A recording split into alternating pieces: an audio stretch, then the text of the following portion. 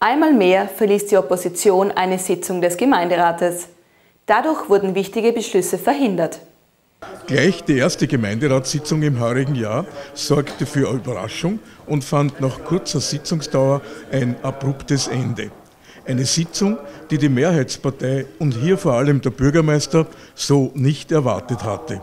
Denn auf der Tagesordnung der öffentlichen Sitzung waren hauptsächlich politisch unproblematische Punkte erkennbar, wie beispielsweise einige personelle Änderungen oder Subventionsvergaben an Vereine und Institutionen.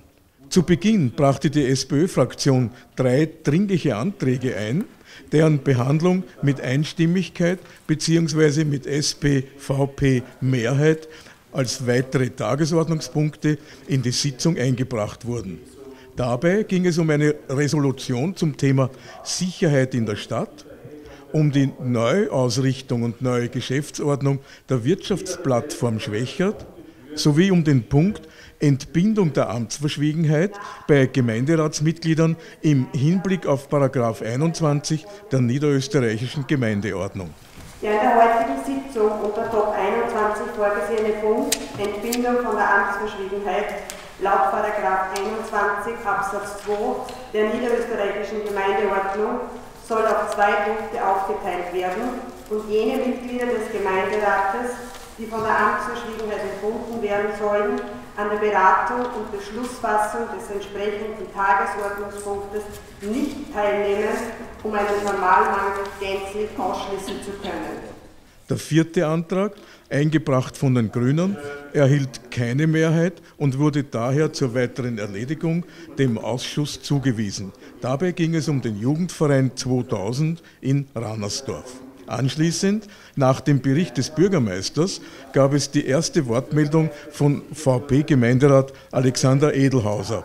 Er stellte an Vizebürgermeister Franz Semtner die Frage, ob es zutreffe, dass der Rechtsberater Magister Kocher ein Naheverhältnis zum Vizebürgermeister bzw. zu seiner Tochter habe.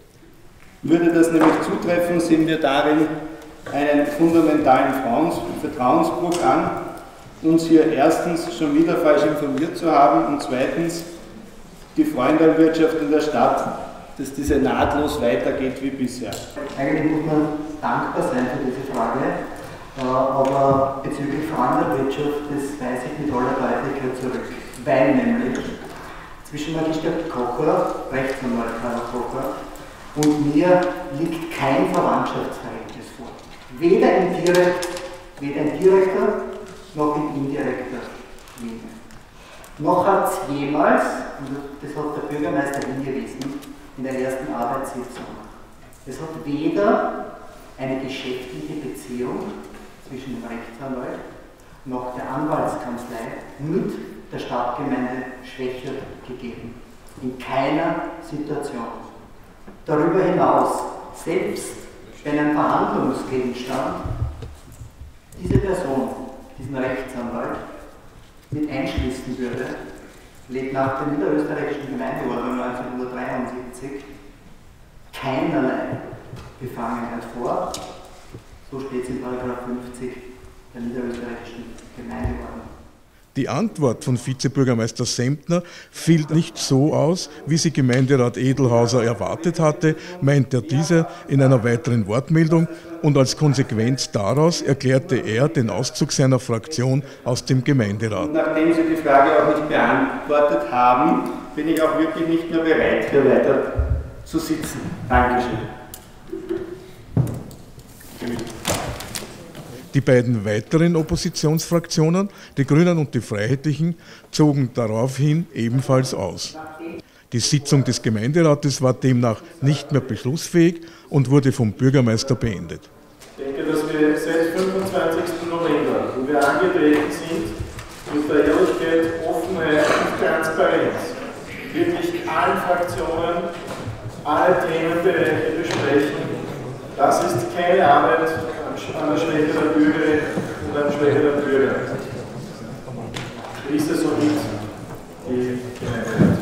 Die Opposition ist wieder mal ausgezogen. Mir missverständlich, denn äh, ich denke mir, dass wir hier einzigartig für Österreich hier die Offenheit, die ich versprochen habe, die Transparenz, die ich versprochen habe, gehalten habe, dass wir hier jeder Gemeinderätin, jede Gemeinderat, jeden Gemeinderat den Rechnungshof-Rohbericht zur Verfügung gestellt haben, sich hier einzulesen, gemeinsam mit mir den Rechnungshof-Rohbericht zu einer Stellungnahme zu bringen, gemeinsam natürlich begleitend mit einer rechtlichen Beratung, mit einer rechtlichen Beratung, dass man heute hier auszieht aus dem Gemeinderat, finde ich absolut gegen die Arbeit für die Schwächerterinnen und Schwächerter.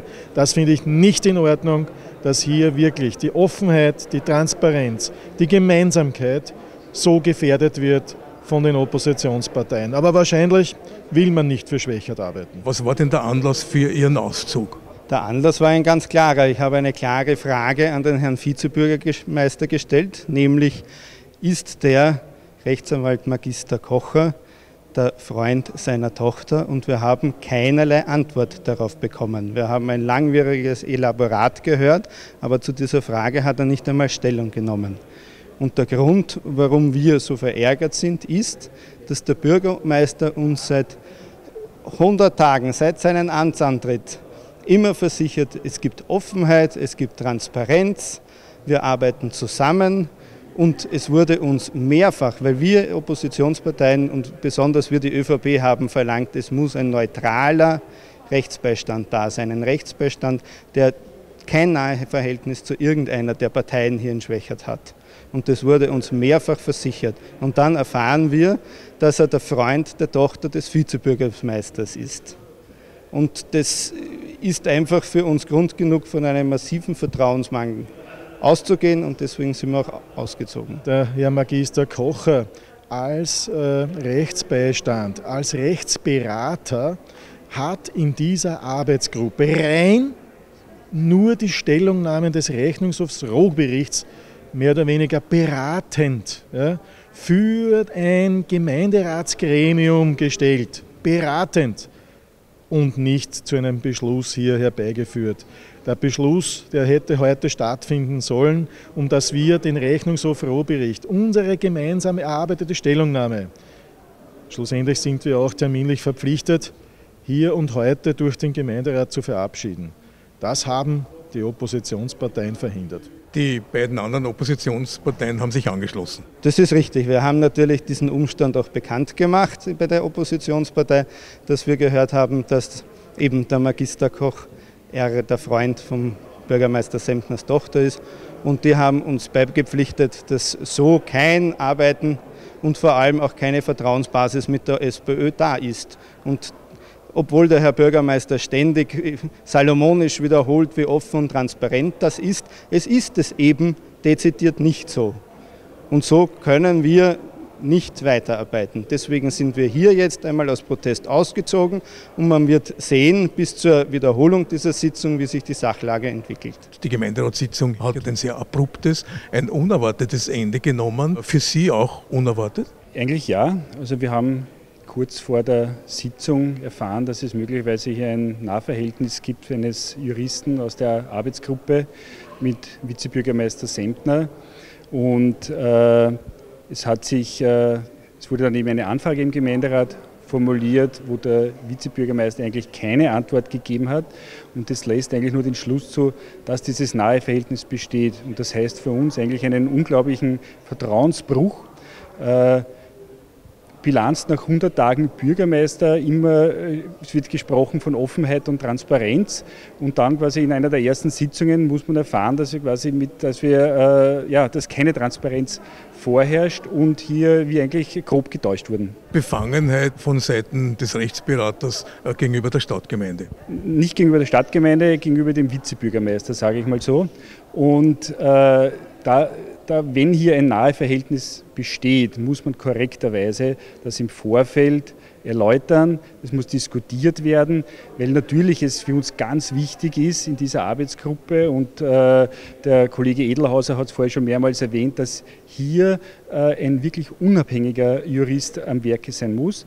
Und äh, wenn nahe Verhältnisse bestehen, dann muss das einfach offengelegt werden. Und das wurde sträflicherweise nicht gemacht. Das war auch für uns überraschend. Wir haben bis zur Sitzung nicht gewusst, dass der Schwiegersohn ins B vom Vizebürgermeister jener Rechtsanwalt ist, der im Ausschuss den Ausschuss berät. Und, und in diesem Ausschuss ist auch der Herr Vizebürgermeister, der Vorsitzende. Und wir haben bis heute, bis jetzt, bis vor kurzem nicht gewusst, dass hier ein Naheverhältnis besteht.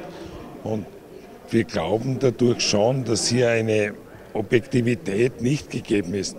Und von dieser viel gesprochenen Transparenz, Aufklärung und Ehrlichkeit sind wir, glaube ich, weit entfernt. Und das war auch unsere Entscheidung, dass wir aus dem Gemeinderat jetzt wieder ausgezogen sind. Ist es schon ein Vorwahlgeplänkel für die kommende Gemeinderatswahl im nächsten Jahr? Also ich denke nicht. Äh, wir seitens äh, der SPÖ-Fraktion, wo wir am 25. November mit einem neuen Team angetreten sind, wo wir wirklich sich sehr bemühen, gemeinsam mit den Oppositionsparteien. Ich behandle sie auch nicht wie Oppositionsparteien, sondern wie wirklich Integration, integriere sie in alle Prozesse, die hier jetzt ablaufen, nämlich im Rechnungshofbericht in der Stellungnahme zu erarbeiten. Das haben wir jetzt gemeinsam geschafft und wir haben auch diesbezüglich diese Woche eine Pressekonferenz abgehalten. Wir haben den zweiten Punkt, wo wir gemeinsam den Zeitplan aufgestellt haben für eine strategische Haushaltskontrolle. Gemeinsam mit allen Fraktionsableuten abgesprochen. Und der dritte Punkt ist, über alle großen Themenbereiche der Stadt habe ich als Bürgermeister alle Fraktionen informiert. Ich kann mir hier keinen Vorwurf gefallen lassen und die Rechtsberatung, auch die Rechtsberatung haben wir im Dezember gemeinsam an einen runden Tisch mit allen Fraktionen beschlossen. Wie geht es jetzt weiter? Ja, wir werden uns jetzt gleich im Anschluss beraten und werden hier eine neue Gemeinderatssitzung einberufen.